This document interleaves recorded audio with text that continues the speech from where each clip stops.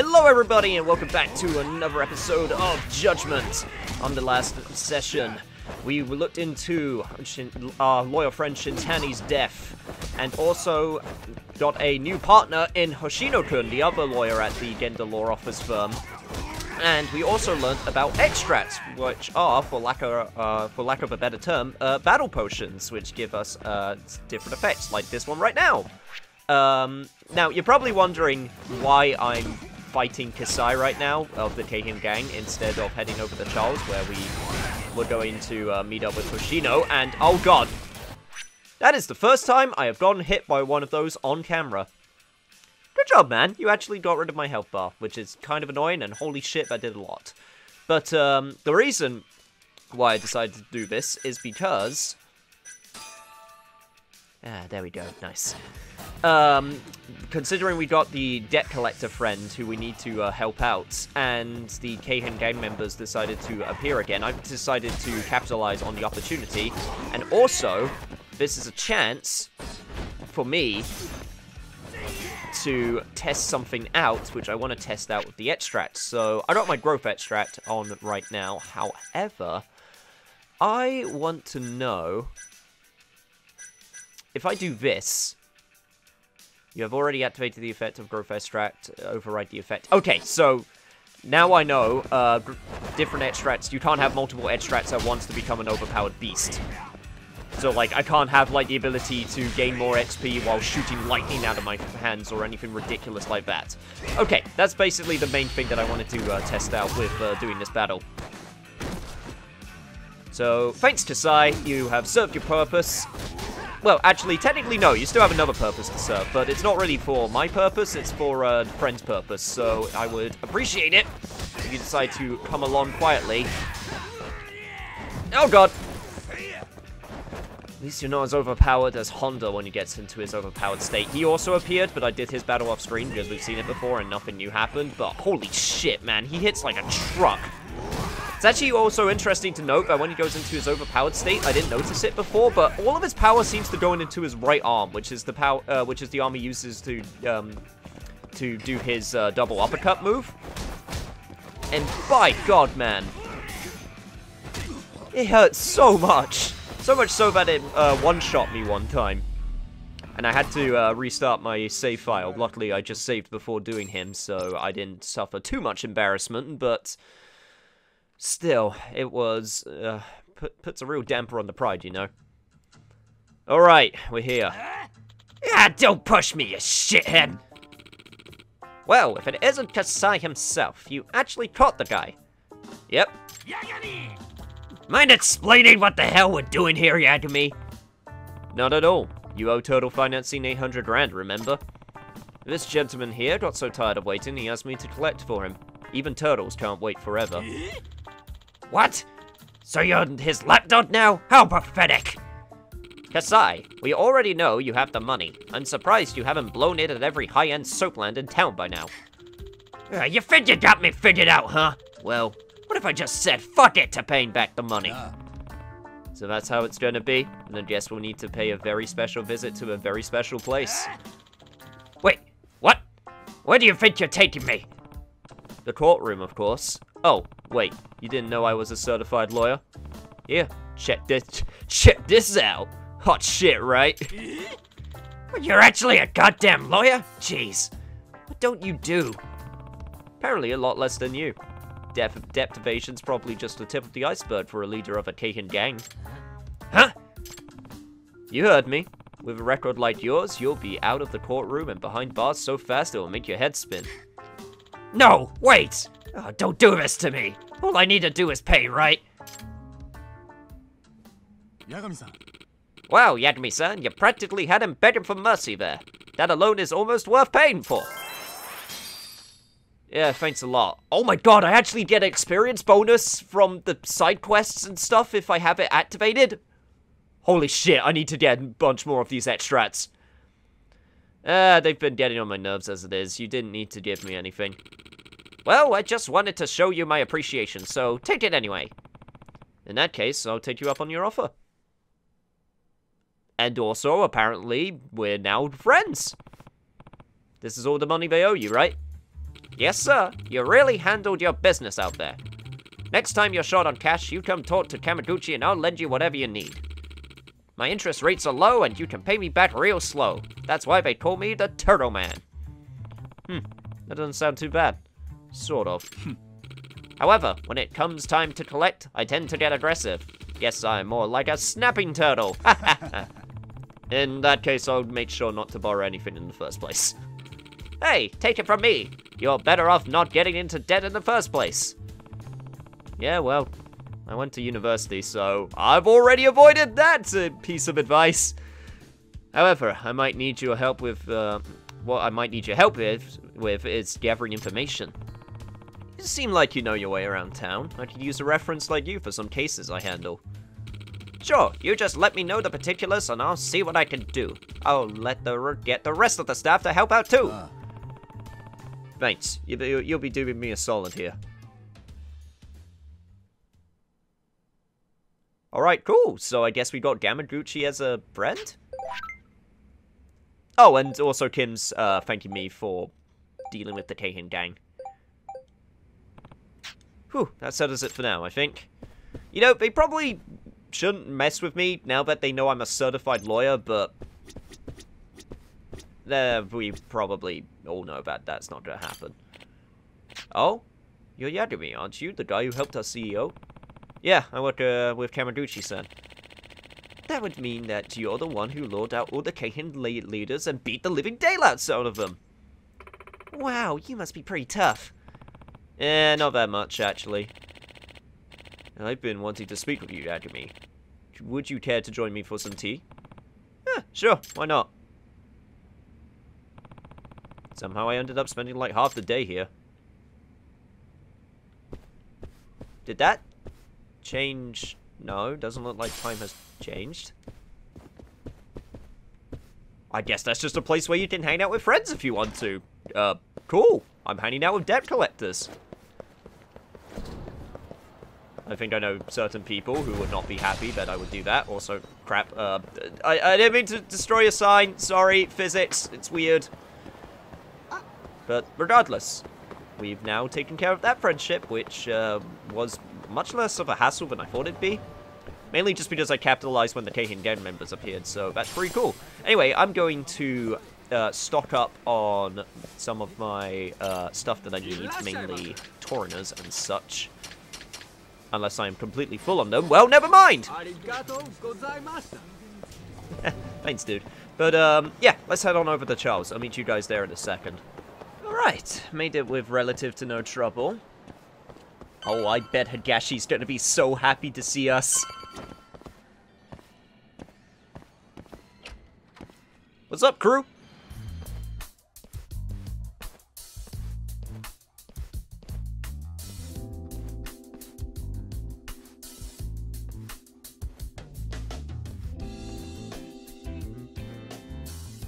Sugiura. カイトウさんに声かけてもらったんです 仲間外れにしないでくださいよ。俺は遠慮なく仲間外れにしてくれていいんだぞ。っていうかなんでここに集まろうとすんだ？でもいい人ですよね東さんって。そう言いながらちゃんと場所貸してくれるんだから。ヤクザなめんなよ兄ちゃん。そうやって凄むとむしろかえっていい人の部分が見えちゃいますよね。な、なんだと？星野くんって見た目より気も座ってんだね。案外腕も立ったりして一応空手は三段です。え？喧嘩で使ったことはありませんけど。役者は揃ったみたいだな。ああそうらしい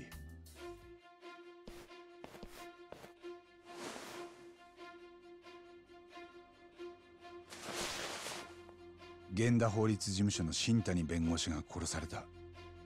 遺体は両目をえぐられててその手口からモグラが絡んでる可能性が高い。みんな手貸してくれるか？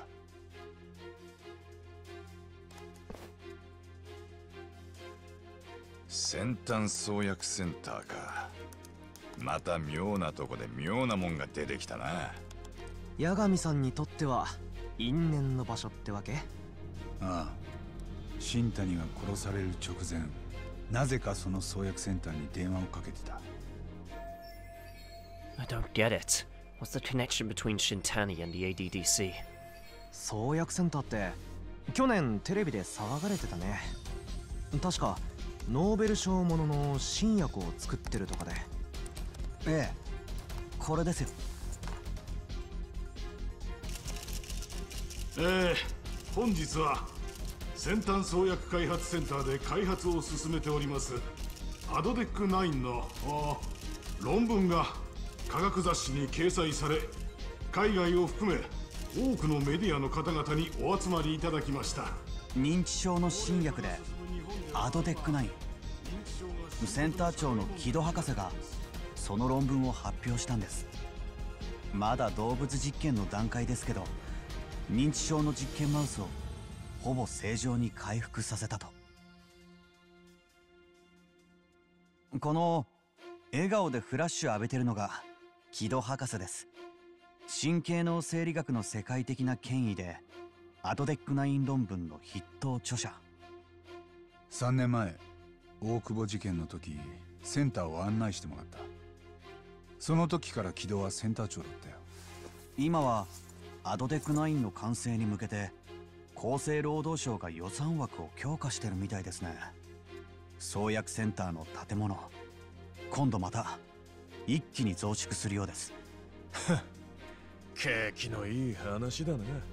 だがよそんなとこにあの新谷がなんで電話してたんだ？それをこれから確かめるんでしょ？センターに問い合わせてさ。てめ人の電話勝手にまず新谷さんがセンターの誰宛てに電話をかけたかだねああそれを電話だけでどう聞き出したもんかなそこは腕の見せ所じゃないの？八神探偵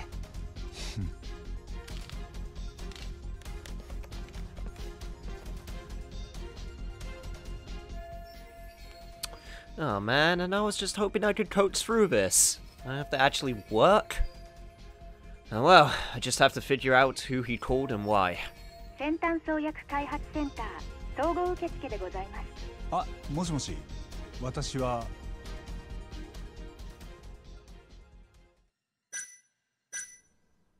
Oh god. Uh. Shit. Um. If they know Shintani, they probably won't.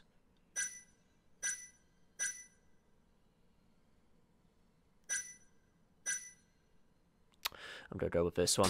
源田法律事務所の弁護士で八神と申しますあはい昨日私の同僚で新谷という者からそちらに電話があったかと思うんですが彼と話をされた方につないでいただけますでしょうか昨日のものと言いますと名前はお分かりになりますでしょうかいえわかりませんうーんあではご用件は何でしたでしょうか担当のセクションにおつなぎいたします要件はですねええ多分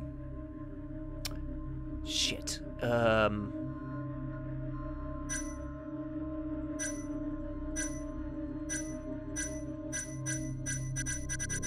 Yeah. Okay, come on. Think, think, think, think, think, think, think.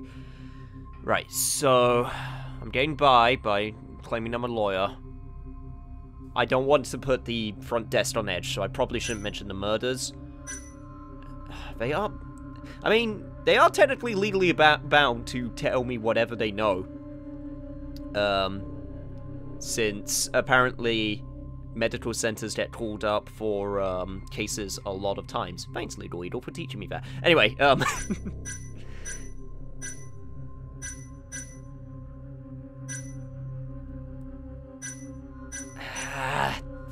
would. What would Shintani would have called about? Would he have had any reason to call on dementia, dr- uh, dementia drugs? Or the Shinpei Okubo instance? This one's the more, more likely of the two, but again, I'm not sure if I want to go down this rabbit hole yet. Screw it! 大久保新平の事件について3年前にそちらで患者さんが殺害されたかと思うんですが あの失礼ですがマスコミ関係の方ですか？いえいえ弁護士ですって。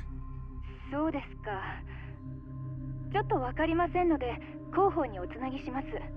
よろしいですか？ええ。お待ちください。なんかあまりいい手応えじゃなさそうだね。お待たせしました。はい広報では新谷様から昨日お電話はいただいてないとのことです。そうですか。わかりました。うん。電話じゃ難しいな。もう創薬センターに直接行った方が早い。行けばなんとかなるの？俺も一応センター長とは面識もあるし最悪無駄足でも構わないんだから。僕も行きますよ八神さんほんじゃ俺は東と松金組の様子でも探っとくか。羽村の頭が消えたままだしな。なんだよ。また勝手にそんな。そういえばさ八神さんが無罪にした大久保新平だっけ？今はどうしてるの？拘置所にいる。死刑囚は刑が執行されるまでずっとそこだ八神さん面会に行ったりとか？はいや俺は一度も。なんでそんなこと聞くんだ？大久保って実際どんな人だったのかと思って結構ニュースでも騒がれた事件だったから。八神さん大久保を無罪にした時本当はどう思ってたの？マジで無実と思ってた？多分なでもその後あいつ恋人を殺しちゃったんでしょ。それも八神さんが弁護してたよね。I did. Okuba-san asked me to, after he murdered Emi-chan in cold blood. ああその時も無実だと思った。大久保はそう言ってた。誰も殺してないって。ただ俺はそれを信じきることができなかった。法廷で彼の無罪を主張するたびにずっと吐き気を感じてた。じゃあ大久保は死刑で当然？もうそのくらいで勘弁してやれや杉浦。ちょっと立ち入りすぎた。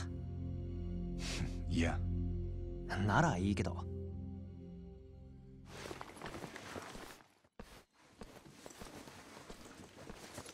あの八神さん。すぐ行きますよね。創薬センター。僕先行ってタクシー捕まえておきますから。公園前通りで待ってます。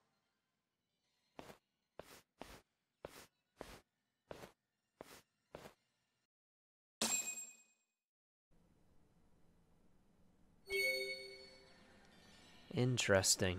Starting to learn more about this Okubo guy. It's been a hot minute since he's been brought up. Not since the very start of the game, so... Interesting that he's getting brought up now, of all times. Hmm. Anyway, anything you want to add, Higashi? 何か勘違いしてるのかもしんねえがな俺はお前らの仲間になった覚えはねえぞ少しは遠慮しろよ Yeah, yeah, whatever you say. Hey, Kaito, anything to add to that? 創薬センターか妙なとこで古い因縁とつながってきたよな I wouldn't really call it fate or coincidence. I called it more planned out. There is no way that this is mere coincidence. Also, there is a side case right there, which I really don't want to do right now. Let's just head on over this way, and there, there we go. Damn it, Hoshino, you, you scared the shit out of me, man. I thought I accidentally just got into the, the side quest. Oh, man. Don't do that. I already had to completely destroy a date with a girl because someone got murdered in my closet. Anyway, let's go to the ADDC.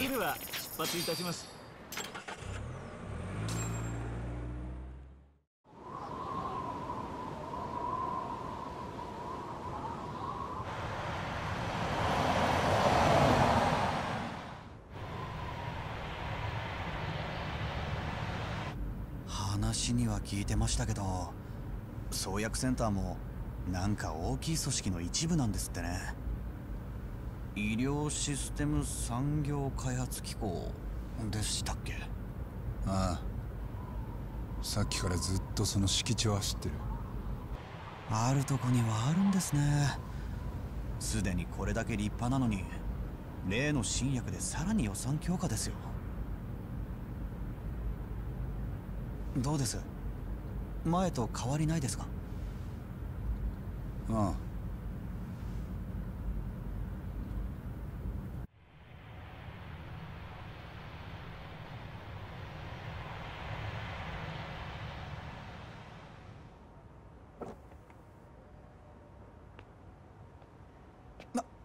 ちょっと待ってくださいよ。八神さん。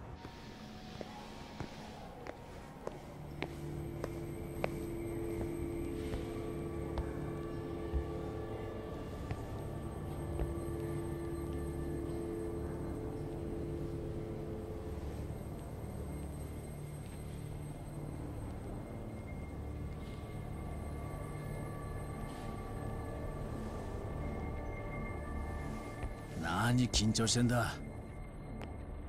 お前は俺のお供でいりゃいいんだぞ。八神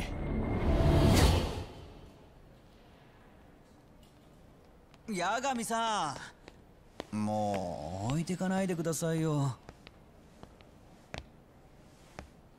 どうかしました？いや3年前と変わってなくてね。はい？ここは時間が止まってたみたいだ八神さん行こうあそこに受付がある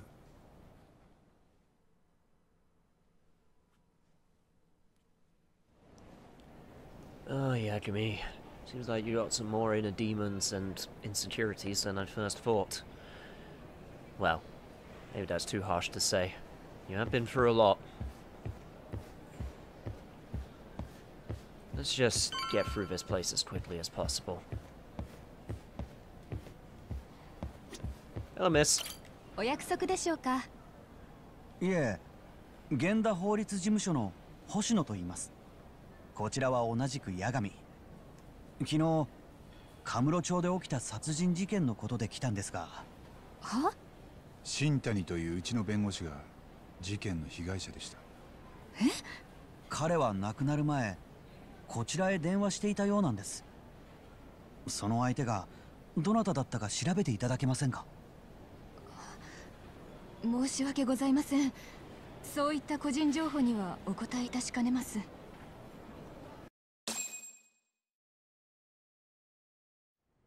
ならセンター長の木戸さんと話せますか？以前お会いしたことがあります。弁護士の八神といえばわかるかと八神さん。あれ？木戸さんですよね？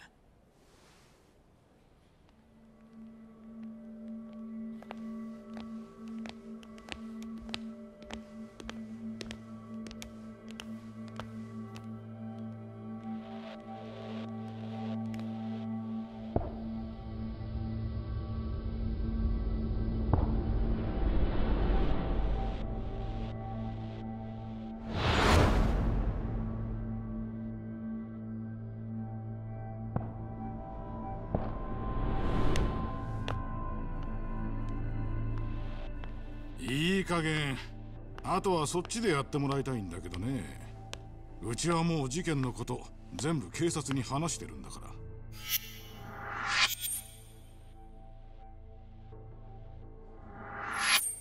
ら。いやセンター長ごもっともなんですがどうしてもこいつが事件の現場を見ておきたいというもんでま手短に済ませますよ。調子いいこと言わないでください。俺は納得いくまでやりますよ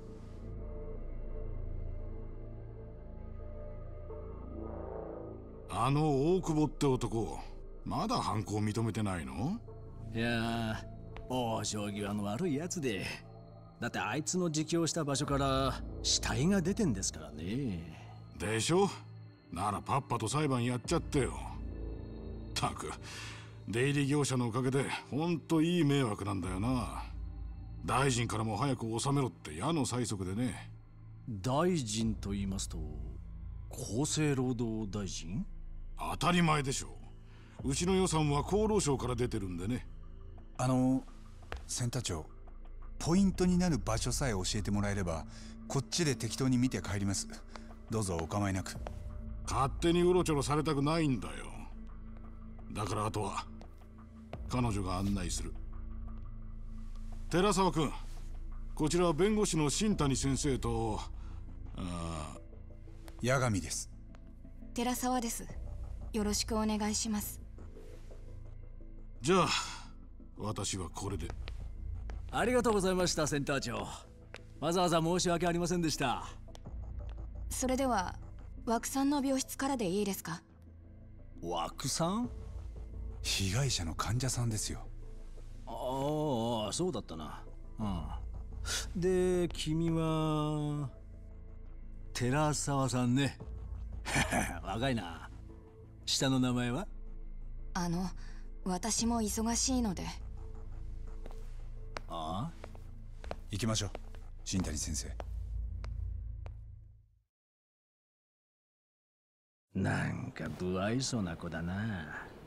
俺らは歓迎される立場じゃないってことです。せっかく苦労して弁護士になったのによ。たまにはチヤホヤされてえな I was not expecting to play in the past, I must admit.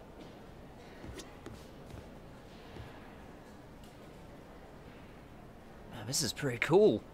Um, Terasawa-san, was it? 少し歩きます Uh, yes, of course. この先がセンター付属の入院棟で4階に枠さんの病室があります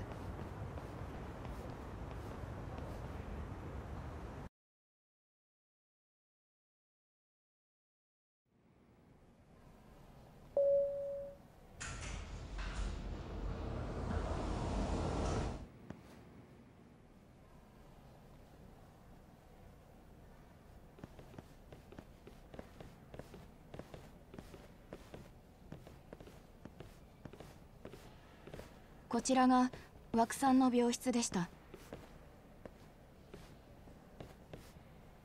あちらは？そっちの奥は開発研究棟です。新薬の開発をしている。あゴールドのカードキーがないと入れません。私も持ってませんけど。ゴールドの？一応うちのセンターの心臓部ですからじゃあ向こうは厳重なセキュリティで守られた別世界ってわけか。行くぞ八神。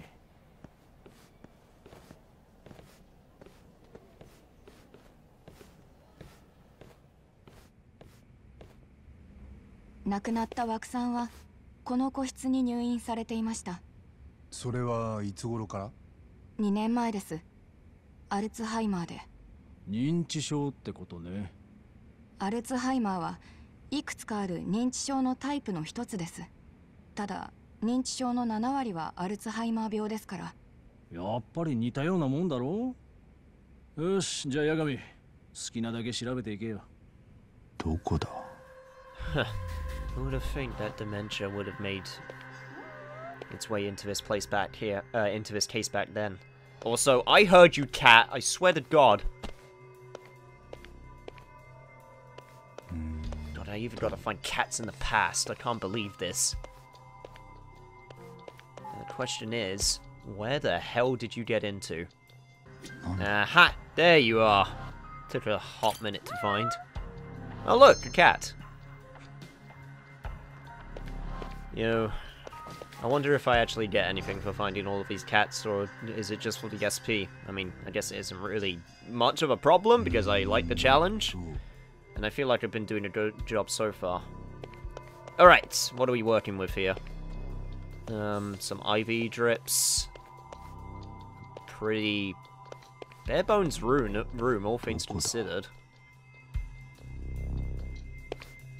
これはこの個室被害者が亡くなってから他の人は誰も使ってません患者は事件当日の朝ここから消えていたんでしたねええ殺害されて運び出された私には分かりませんけど多分 Working on that assumption, how was his body carried outside? I should take a closer look. So I not I know we're not quite there yet, but what was Okubo's motive for murdering the patient? Was it someone that he knew? And if he buried the body, which he seems to have admitted, why? Seems extremely weird. 窓は跳ね殺し枠さんが窓から抜け出したってことはないな Made sense that the uh, windows wouldn't open. ん怪しいねこの窓なら廊下からもこっちが見えるな。もし部屋の中に異変があればみんなすぐ気づく。スタッフが少ないのですぐかどうかは。廊下はよく人が歩いてますけど認知症患者の方がほとんどなんです。なるほど。廊下からだとどんな風に見えるのかな。部屋に異変があれば廊下から見えるか部屋の中はもういいだろう十分だそうですね Well, guess that's all I'll need from this mo- this room. God, kind of reminds me of the room I stayed while in university for my first year. Except somehow even more desolate. And my room was converted from a prison ward, so that should tell you all you need to know about what the rooms were like. Anyway, regardless, let's focus on the investigation.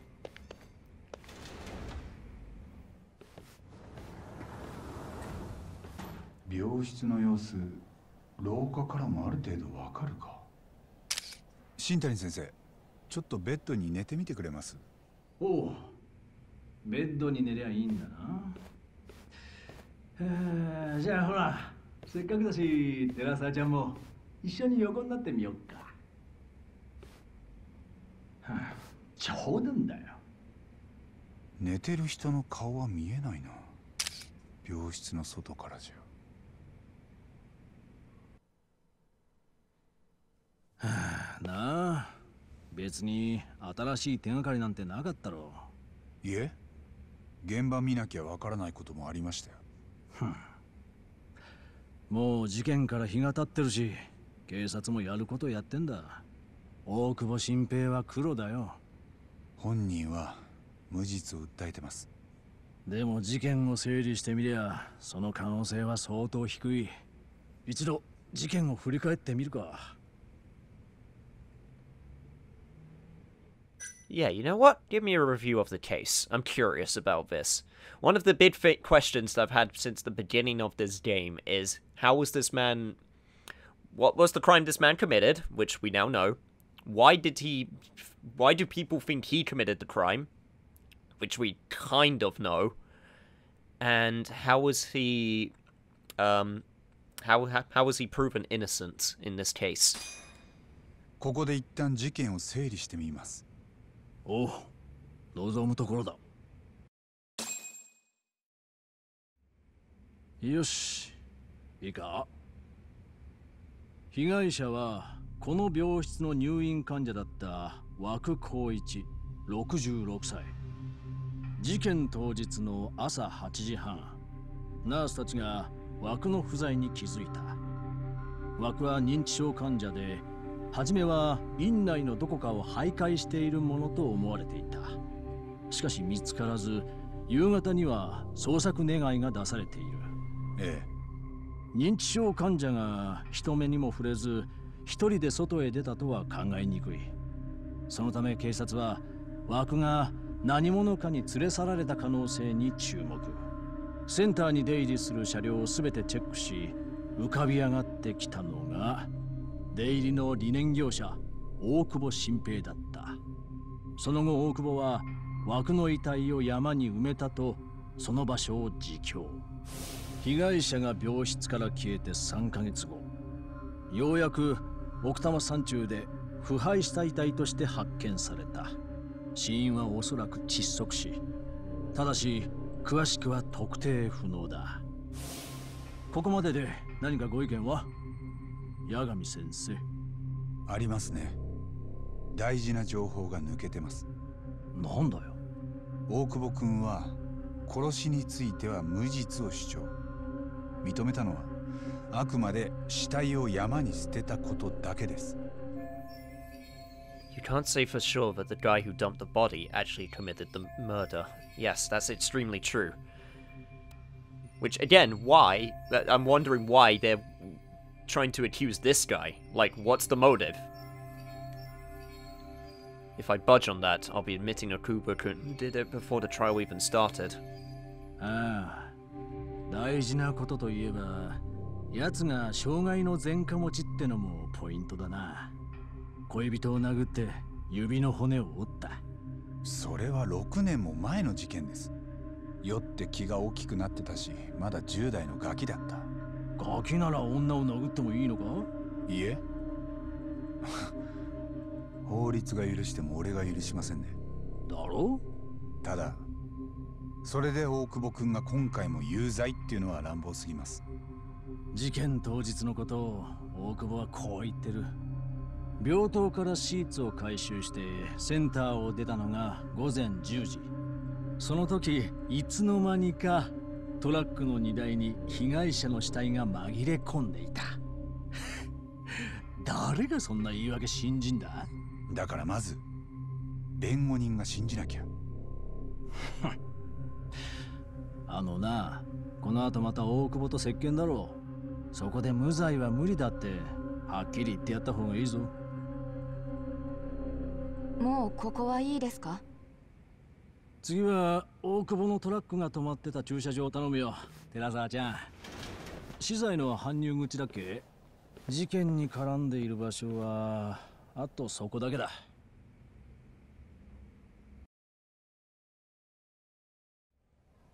搬入口の駐車場は地下になりますどうぞ So, the main reason people are suspecting him are because of his shaky testimony and his history of assault. Still not the best basis for a motive, at least in my opinion. Now, obviously, I'm not a lawyer, so maybe that is a good basis, but maybe it's just because that's the only basis they've got, and he seems to be the only one who could have done it. Which is always shaky in my book, but hey. I'm his lawyer, so gotta believe him till the end. It's kind of weird going into this knowing already kind of what happens, but actually having it finally played out in front of us, this is what I've been waiting for. Also, holy crap, this building's huge. I, I mean, it's a medical ward, so that makes sense, but still. いや八神お前張り切りすぎると持たねえぞ。刑事弁護は本当信念っつうか正義感そういうのが試されんだ。あんま金にもなんねえのによ。なんか人聞き悪いっすよ。いいからほどほどにしとけって経験豊富な先輩のありがたいお言葉だぜ。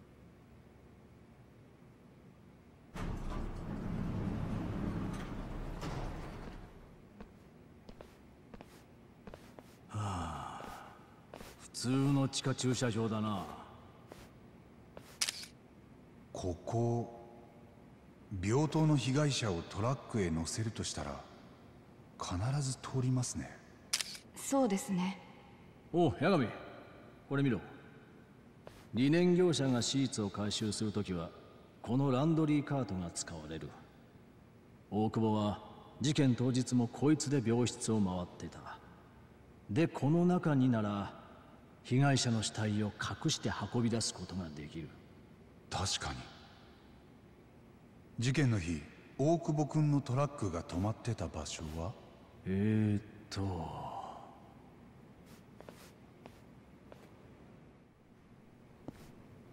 Having trouble remembering?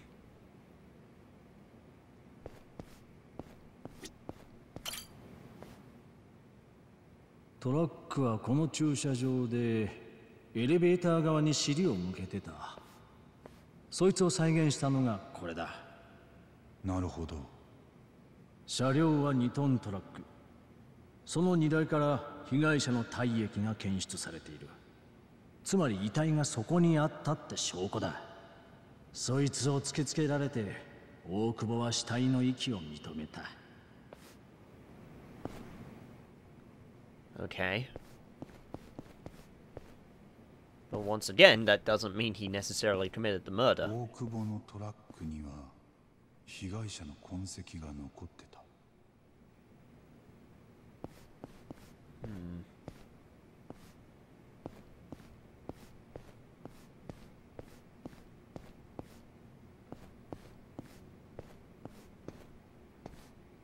Random ass car here. Is there anything you want to add? あの最後に被害者が目撃された時間は？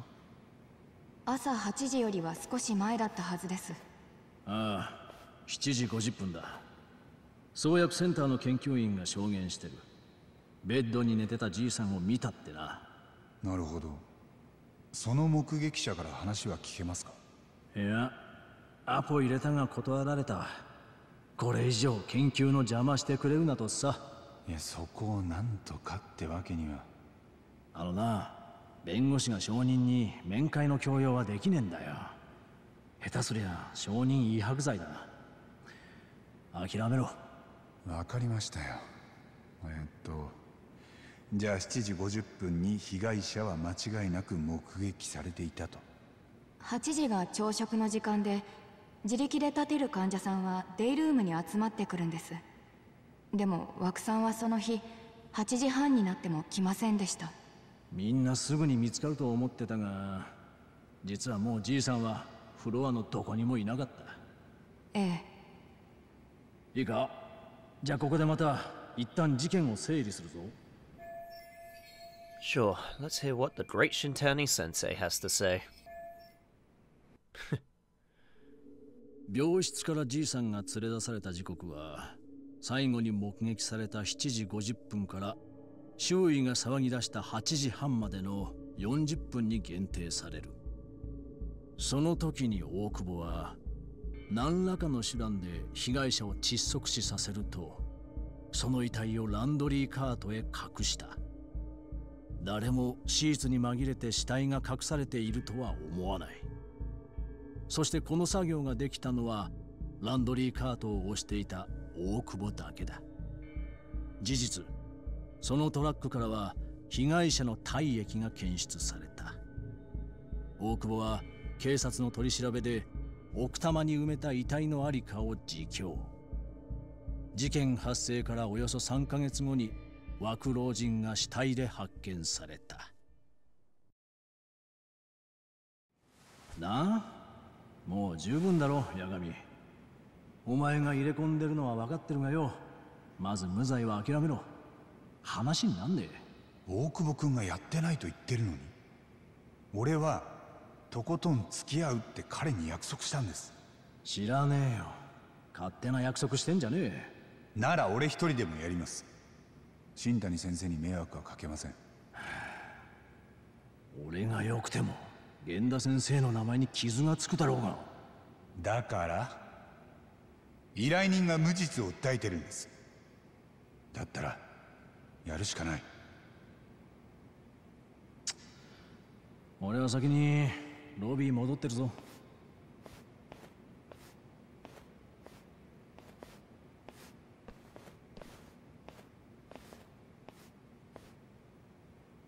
あのよかったらもう一度さっきの病室見てから戻りますかいいんですかあ助かります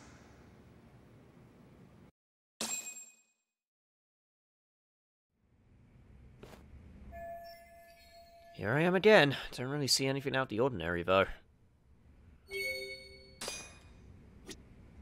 See, here's the thing I just don't get. So, according to the story, Okubo, the laundryman for this place, came into here, killed this man, who I'm assuming he has no um, connection with, unless there's that's a piece of information we don't know yet. Killed him, took him took him to his truck, which would have been a really bad plan, considering, you know, his DNA was all over the place. Took him to the mountains, buried him, caused this whole investigation to start, and then he just goes, Oh, I buried him in the mountains, and then pleads innocent? Why would he do that? Unless he's got, like, schizophrenia or some something. Or, like, he wasn't thinking straight, or something ridiculous like that. I don't know. This is just weirdly not making sense. あのこれでもう終わりですか Uh, no, just, uh, give me a second.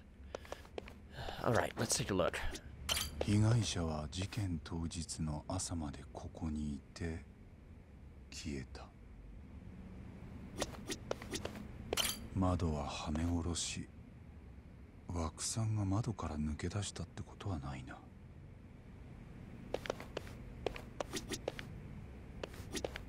部屋に異変があれば廊下から見えるか？That's all we're going to get. あの Yeah, I've investigated enough. もう一通り調べたと思いますまだ何か？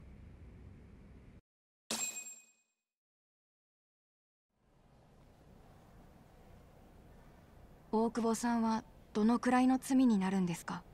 え？もし有罪になったら？うーん10年とかもしかしたらもっと。正確な予想はつきません。じゃあもし罪を認めたら大久保さんの刑期は短くて済む？裁判長の心証は良くなります。無罪と言い張るよりは。それでも八神さんは無罪を主張するんですか？負けて一番苦しむのは大久保さんなのに。彼が本当に無実なら勝てますよ。と言っても俺は今回が初めての刑事弁護なんだけど。え？民事だと勝ったり負けたり少し負け越してるかな。そうなんですか。今回の事件賢い弁護士ならまず無罪は主張しないそうです。でも俺はこの程度の弁護士だからこそうん本気で無罪を取れると信じられるのかも。寺澤さんもしかして大久保君と親しい？話をしたことはあります。もちろん。私もこのフロアのナースですから。じゃああなたから見て大久保君はどんな人？ごめんなさい。センター長からは余計なこと言うなって。待った。もし事件のことで何かあれば連絡を。俺は大久保君のために全力で弁護しますでも勝つためにはもっと大勢の力が必要なんです。多分寺澤さんの力も。